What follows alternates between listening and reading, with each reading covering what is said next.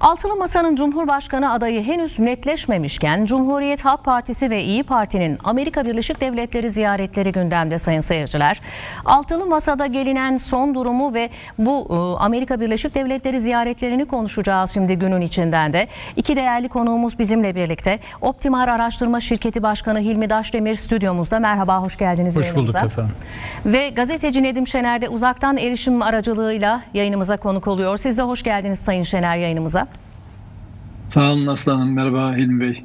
Merhabalar. İzninizle ilk soruyu Hilmi Bey'e yöneltmek isterim. Şimdi önce e, şöyle bir genel resme bakalım isterseniz seyahatleri değerlendirmeden evvel. Gelinen nokta itibariyle Altılı Masa nasıl bir görünüm arz ediyor? Hem ortak aday belirleme, belirleyememe hususunda hem de e, o çok eleştirilen ortak bir vizyon oluşturup bunu sunma, sunamama noktasında nasıl bakarsınız o fotoğrafa? Aslında altılı masanın biraz dengesini kaybetmiş olduğu ya da kendi içerisinde bir taraftan bu görüntü var, denge anlamında problemi var. Diğer taraftan da kendi içlerinde bir rekabet var. Özellikle Cumhuriyet Halk Partisi ile İyi Parti arasında bir rekabet var. E Çünkü Kemal Bey'in adaylığı ön plana çıktıktan sonraki süreçte İyi Parti'ye giden Cumhuriyet Halk Partili ulusalcı oyların bir kısmının geri gitmeye başladığını gözlemliyoruz yaptığımız araştırmalarda. Sonuç itibariyle bu buradan bakılacak olursa e, bu Amerika seyahatinin de o kapsamda biraz değerlendirilebilir. Çünkü önce Cumhuriyet Halk Partisi gitti ardından İyi Partililer gidiyor. E, buradan bakınca orada da benzer bir dengeyi kurmak, efendim o rekabeti devam ettirmek gibi bir süreç var. E, Meral Akşener'in bazı söylemlerinde e, Sultan Abdülhamit'i istibdatçı olarak nitelemesi ve benzeri gibi süreçlere bakıldığı zaman burada da net olarak görülüyor.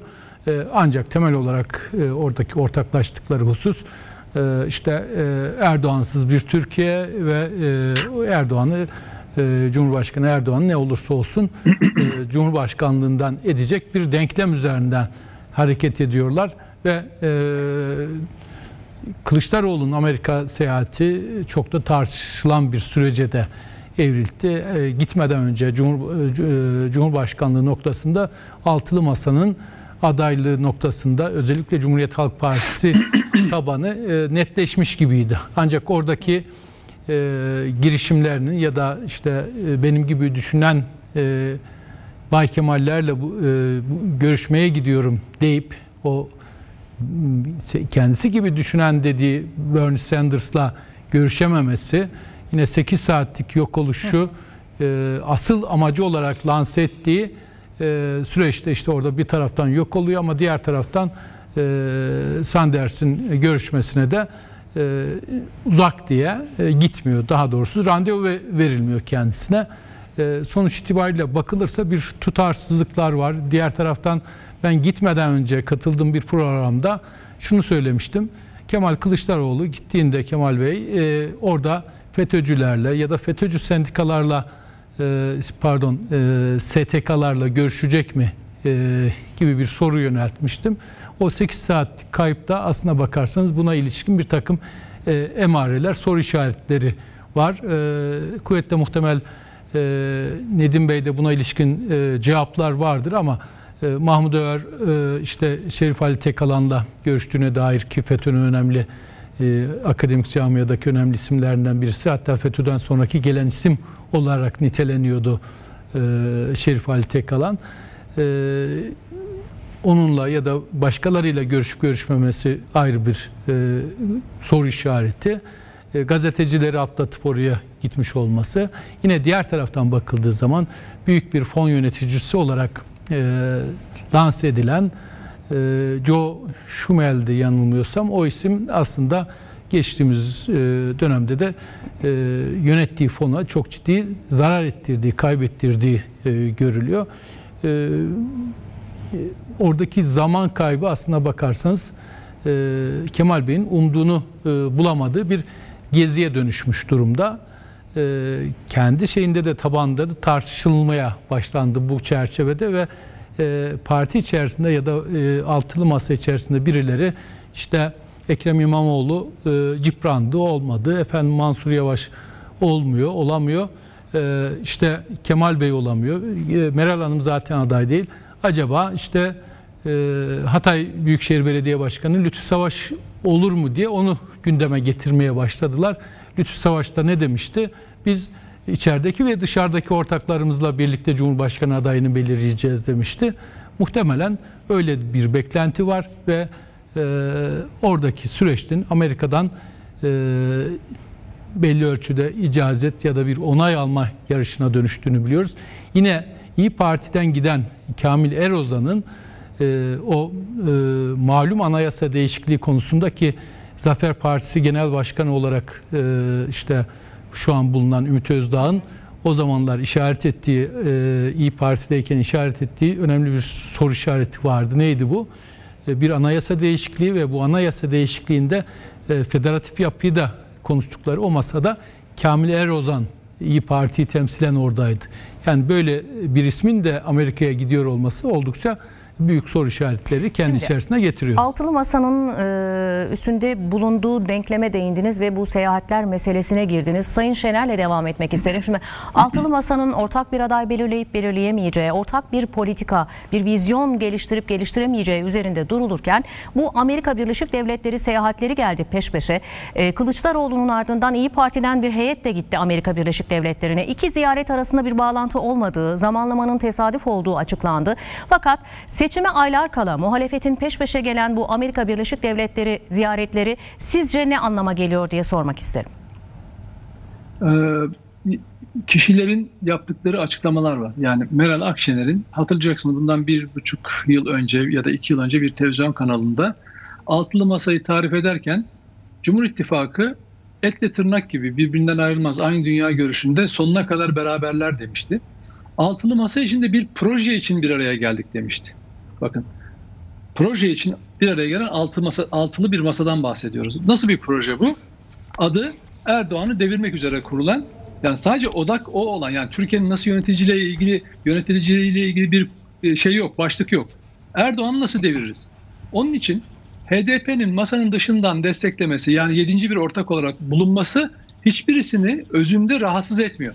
Ona karşı mücadele etmiyorlar mesela. Daha iki hafta önce PKK'nın elebaşı Öcalan için yürüyüş yapmış HDP'lileri çok rahatlıkla hepsi tamamı içine sindiriyor. Şimdi gelelim yurt dışı seyahatlerine. Elbette ki seçime giderken iki ana muhalefet parti iki, ana muhalefet teşkil eden iki büyük partinin ard arda gitmesi ki bir tanesi önceden ayarlanmış olsa dahi gitmek zorunda değilsiniz. Yani siz biriyle randevu aldınız diye illa ona gitmek zorunda değilsiniz ki hele böyle bir siyasi atmosferde hiç gitmek zorunda değilsiniz. Deminden haberde siz belirttiniz. 13 başlıktan bahsettiniz. Türkiye'nin sorunlarının çözümüyle ilgili. Bana Amerika Birleşik Devletleri topraklarında Türkiye'nin yaşadığı, Türkiye'nin içinde bulunduğu konularla ilgili veya sorunlarla ilgili hangi meseleyi Amerikalılarla çözebilirsiniz? Yani bana çıksın İyi Parti birisi desin ki biz Amerikalılarla Türkiye'nin şu sorunlarını çözmeye gittik. Kardeşim sen parti değil misin? Senin bir e, parti politikan yok mu? Amerikalılardan hangi akla alabilirsin? Mesela hangi vakıf, mesela hangi vakıf Türkiye dostudur şu anda? Türkiye'yi objektif olarak dostane değerlendirebilir. Hangi STK yapabilir? Veya 100 tane senatör var değil mi? Bana bir tane Türkiye dostu olan senatör ismi söyleyin. Mesela gittik onunla şunu konuştuk. Ama ben size 100 tane senatörden 100 tane Türkiye düşmanının ismini tek tek sayarım. Ya da kongrede başkanı dahil olmak üzere. Türkiye düşmanlarından bahsediyoruz ve siz İyi Parti olarak adınız da İyi Parti, güya milliyetçisiniz. Amerika topraklarına gidiyorsunuz. Türkiye'nin içinde bulunduğu sorunları çözmek için. Hangi sorunu çözebilirsiniz? Türkiye'nin yaşadığı sorunların çok önemli bir kısmı buna ekonomi dahil olmak üzere Amerika kaynaklı askeri konularda Amerika kaynaklı biz F-16'larımızın modernizasyonu konusunda engeli çıkartan Amerikan Kongresi. Bize zamanında silah vermeyen Amerikan Kongresi. E, PKK terör örgütünü destekleyen Amerika Birleşik Devletleri, Pentagon, CIA Yine FETÖ'yü koruyan kollayan Amerika Birleşik Devletleri'nin hukuku Adalet Bakanlığı bana Türkiye'nin herhangi bir sorunu konusunda çözüm için Amerikalılarla ve hangi Amerikalılarla konuştuğunuzu anlatın. Şimdi bakın Kamil Erozan'dan bahsediyorsunuz. Kamil evet. Erozan bakın 2020 yılının Temmuz ayında Libya'ya gönderilen askerlerimizin dökümünü istiyor. Bir soru önergesi vermiş. Neyi istiyor? Silahların dökümünü de istiyor mesela. Şimdi bu eski dışişleri mensubu değil mi? bunların ne anlama geldiğini bilir değil mi? Bunlar ancak bir casusun, bir istihbaratçının yani devletin gizli bilgilerini ifşa etmek isteyen bir kişinin yapabileceği ve peşinde olduğu sorulardır. Ben bir gazeteci olarak gazetecilik merakı çerçevesinde bile ben Türkiye oraya kaç asker gönderdi, hangi silahları gönderdi, nereye yığınak yaptı. Bunlar bir ülkenin savunmasını göçertmek amacıyla yapılmış e, sorulmuş sorulardır. Şimdi bakın bunu niye örnek veriyorum biliyor musunuz? Bu soruları böyle şeffaflık adına, demokrasi, hukuk adına, efendim yasama faaliyetleri adına soran Kamil Erozan Amerika'daki ziyaretlerini bize tek tek anlatsın şimdi. Şeffaflık adına. Madem sen Türkiye Cumhuriyeti Devleti'nden casus ol- casus gibi askeri as- asker sayısını soruyorsun. Libya'ya gönderilen, gönderilen bulunan silahların so- soruyorsun. Daha da fazla soruları var aslında onun içinde. Madem bunları soruyorsun, değil mi?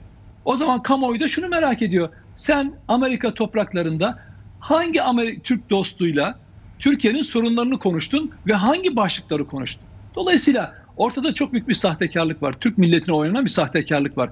Ben e, seçimi kimin kazanacağıyla ilgilenmiyorum. Ben ülkemin güvenliğiyle ilgili konuşuyorum. Ben Kılıçdaroğlu'nun o 8 saati açıklamasını bekliyorum. Her konuda şeffaflıktan bahsediyorsunuz değil mi? Bir insan 8 saatinin hesabını veremez mi? Dolayısıyla olaya bütüncül bakmak lazım. Bakın birbiriyle normalde masa hani bir altılı masa var ama masaya oturmuşlar birbirinin ayakta, ayaklarını tekmeliyorlar farkındaysanız. Kim Kılıçdaroğlu aday olmasın diye uğraşan İyi Partililer veya diğer ortakları, Saadet Partililer, öbür taraftan başka aday pazarlamaya çalışan ortaklar, öbür taraftan PKK'nın siyasi kolu bizim ilkelerimiz, kriterlerimiz, politikalarımız dikkate alınmazsa desteklemeyiz şartları veya Mansur Yavaş olursa oy vermeyiz açıklamaları. Hangi hakla siz altılı masa olarak bir alt, bir altılı masa diye bir ülkeden bahsetmiyoruz. Onların yöneteceği bir toprak parçasından bahsetmiyoruz. Hepimizin hayatına değecek. Yani 84 milyonun bu coğrafyada yaşarken onların döneminde yönetiminde nasıl bir ülke olacağını konuşuyoruz biz burada. Onların ne yaptığıyla ilgilenmiyoruz. Biz Amerika'ya turistik seyahat yapan Kamil Örozan ve arkadaşları veya Kılıçdaroğlu ve arkadaşlarından bahsetmiyoruz. Gidip orada Türkiye'nin sorunlarından bahsediyorlar. Türkiye'nin sorunu da tekrar söylüyorum. Bana bir tane Amerika topraklarında Türkiye dostu göstersin. Bir siyasetçi, bir bürokrat, bir e, istihbaratçı veya herhangi birisi. Ben onunla Türkiye'nin şu konularında yapıcı şu görüşmeleri yaptım. Kardeşim gidiyorsunuz Türkiye'yi orada onlara şikayet ediyorsunuz. Adamlar zaten e, ayaklarına kadar gelmiş casuslar bunlar. Ya bakın Amerika'nın ayaklarına kadar gidip Türkiye'yi ihbar ediyorlar. Türkiye şöyle, Türkiye böyle. O görüşmeleri yapıyorlar. Bakın bu bir proje.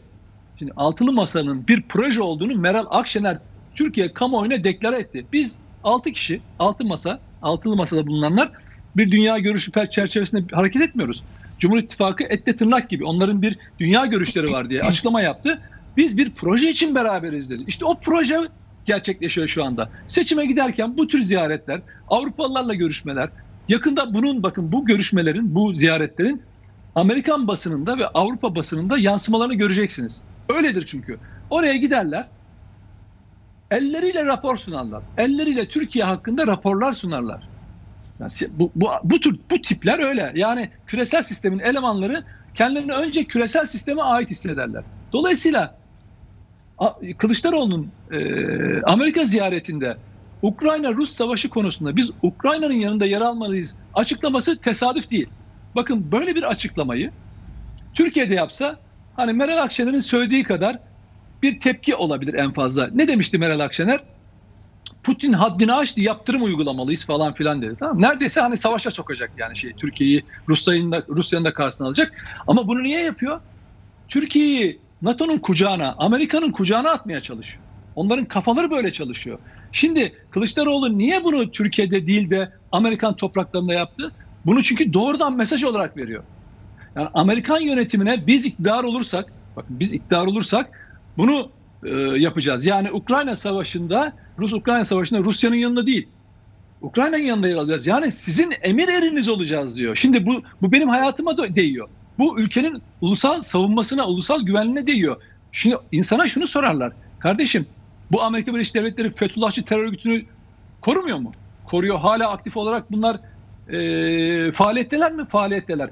PKK'yı korumuyor mu, desteklemiyor mu? Destekliyor. Peki hangi sorunu onlarla konuşabilirsin? O topraklar, ya Amerika topraklarından, bakın sizin benim gitmemiz gibi bir şey değil. Bizim kamusal sorumluluğumuz mu yaptığımız meslekle ilgili bir şeydir. Biz bir haberi alır geliriz. Veya bir insanın oraya Amerika'ya gitmesi, turistik ziyaret yapması bir önemli değil. O onun e, kişisel hayatıyla ilgili bir şey. Ama bir siyasetçi ülkeyi yönetmeye talip hem de ülkenin sorunları için ülkeye vizyon getireceğim diye oraya gidiyorsanız siz çok açık şeffaf olacaksınız. Şimdi Kılıçdaroğlu ne yaptı? Yanına gazetecileri aldı, kendine yakın gazetecileri, uçağı doldurdu, götürdü Amerika'ya. Peki güzel. İşte bilim insanlarıyla görüştüm falan. E kardeşim gezinin en önemli ayağında, ortasında sen şeye çıkıyorsun, e, Boston'dan yola çıkıyorsun. E, rezervasyonu yapılmış, bileti alınmış, uçağa binmiyorsun. Gazeteciler senin gelmediğini uçakta görüyorlar. Diyorlar ki nerede başkan ya? Şimdi şöyle düşünebiliyor musunuz? Ya biz hepimiz şimdi bu yayına katıldık. 4 kişi, 3 kişi, 4 kişi yayına katıldık. Biz beraber yola çıkıyoruz. Ben bir anda yok oluyorum. Sonra bir yerde karşınıza çıkıyorum falan filan. Ne ne ne aklınıza gelir? Ya senden yoldaş falan olmaz. Senden yol arkadaşı olmaz. İnsan hiç olmazsa giderken haber verir dersiniz değil mi? Şimdi hem de yanına götürdüğün kişiler Türkiye'deki gazetecilerden bahsediyorum. Onlara sen yapacağın çalışmaları tanıtmak amacıyla gittiğini söylüyorsun. Kısmen de programa dahil ediyorsun ama uçağa binmiyorsun. Gazetecileri atlatıyorsun. Ne yapıyorsun?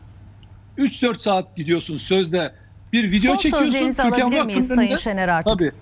Tabii. Türkan Vakfı'nın önünde 40 saniyelik video çekiyorsun. Onu paylaşıp tekrar 4 saat daha New York'a gidiyorsun ya da Washington'a gidiyorsun. Neyse. Şimdi peki şeffaflık nerede bunun? Neresinde? Ben şunu söylüyorum bakın eğer amacınız o videoyu çekmek için o seyahati yapıp ortadan kaybolduysanız yanınızı yanınızdaki gazetecileri de beraber götürürseniz etkisini de arttırmış olurdunuz. Kamuoyu, kamuoyuna daha çok duyurmuş olurdunuz değil mi? Ama bunun amacının bu olmadığı çok açık. O yüzden bir şeyleri açıklayamıyorlar ama işi biz deşifre edeceğiz. O da ne biliyor musunuz? Bu İyi Parti'de, CHP'de küresel sistemin aparatları. İşte o yüzden Kılıçdaroğlu her konuşmasında KHK'lılar diye FETÖ'cülere kol kanat geliyor. O yüzden Kürt açılımından bahsederek HDP'ye göz kırpıyor. Niye biliyor musunuz? Bunlar da küresel sistemin aparatları. Ama nasıl aparatları? Türk milletine karşı kullandığı aparatlar. O yüzden ellerinde bir projenin adı var. O projenin adı Erdoğan'ı devirmek. Onun için herkesle, her şekilde, her koşulda ve her zaman işbirliği yaparlar. O yüzden bu ziyaretleri bu anlamda değerlendirmek lazım. Ama Kamil Erozan'ın bakın deminden size arz ettim. 2020'de sorduğu sorular var. Libya konusunda Türk Silahlı Kuvvetleri'nin hangi personellerinin kaç kişinin gittiği, hangi silahları gönderdiğine dair casusların sorabileceği, merak ettiği konuları Türkiye Büyük Millet Meclisi'ne soru önergesi olarak vermiş. Diyelim ki bu rakamları verdik. Verdi devlet. Ne yapacaksın bu rakamları? Yani sen millet sana yasama görevi, sana soru sorma hakkı vermiş e, bu anayasa milletvekili olarak. Bu bilgileri aldın. Ne yapacaksın? Bana onun cevabını versin. Bu kadar noktada Sayın- bekleyen Kamil evet, Örezan'dan Sayın tabii. Daş Kamil Demir'e Örezan'dan de biz seyahatleri hakkındaki tabii bir şeffaflık Dönmek bekleriz. isterim. Ama ben beklemiyorum. Kişisel olarak da beklemiyorum. Şimdi çok çarpıcı bir geniş bir tablo çizdi e, Sayın Şener. E, Hem e, katıldığınız noktalar var mı onu sormak isterim. Çünkü ziyaretlerin temas trafiğinin içeriğine dair çok önemli tespitleri oldu. Hem de taban buna nasıl bakıyor? Çok kısa alabilir miyiz? Arkadaşlarım süre konusunda ısrarla uyarıyor Tabii. beni. Yani e, bu görüşmelerin e, aslına bakarsanız e, Cumhuriyet Halk Partisi açısından tabanda bir tartışma e, yarattığını, oluşturduğunu görüyoruz. Nitekim o masanın e, üyesi olan bir partinin temsilcisi olan Etyen e, Mahcup yanında bu adaylık noktasındaki bir e, bu, bu noktada çıkışı vardı. Ben Mansur Yavaş aday olursa Erdoğan'a oy veririm e, gibi bir çıkış içerisinde bulundu. Dolayısıyla e, Hocam Allah korusun. Hilmi Bey. Yani ben şöyle söyleyeyim. AKP'liler AKP'liler e, Etyen Mahçupyan'ın vereceği desteğe dikkat etsinler. Hayır hayır. Çünkü o- liberaller nereye Şu- giriyorlar? şunu şunu söylemeye çalışıyorum. Orada bir tartışma kendi içerisinde oluşmaya başladı. Netice itibariyle e, altılı masanın ilk şey var, konuşmaya şunu girerken söyleyeyim. e, E, şunu demiştim. yandaşlarının- Kafalar karışık ve oradaki e, oluşturdukları Onu- onu e, şöyle ya da işte onların bakın. üstü aklının oluşturdukları Fark- denklem bir yerde e, bozulmaya başladı. Aksıyor. Yani o toplum mühendisliğinde ciddi bir çatlak var. E, o e, buna benzer çıkışlardan da görüyoruz.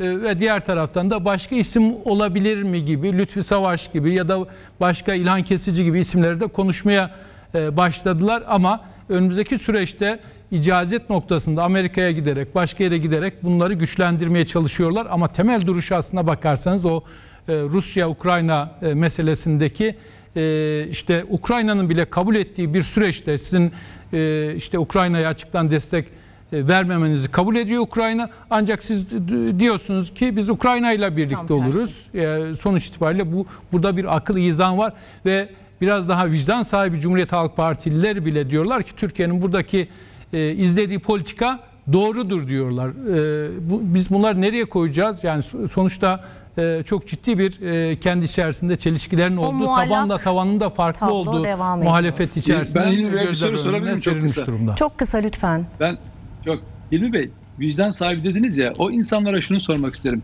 Aynı Kılıçdaroğlu FETÖ'cüler için af çıkarmak ya da KHK'ların iadesi veya Demirtaş için e, suçu ne dediğinde veya PKK'nın siyasi kolu HDP ile görüşüyoruz dediğinde tabii ki görüşeceğiz dediğinde o vicdan niye harekete geçmedi Üstad?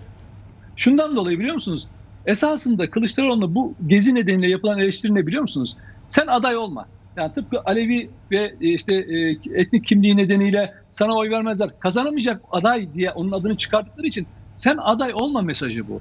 Yoksa Kılıçdaroğlu'nun çok daha büyük hataları var. Mesela bu gezi nedeniyle eleştirenler hiç Ukrayna Savaşı üzerinden bir eleştiri yaptılar mı? Hayır. Aa işte niye ortadan kayboldu lafını mesnet edip Kılıçdaroğlu'nu kendilerince Çok teşekkür ediyoruz efendim.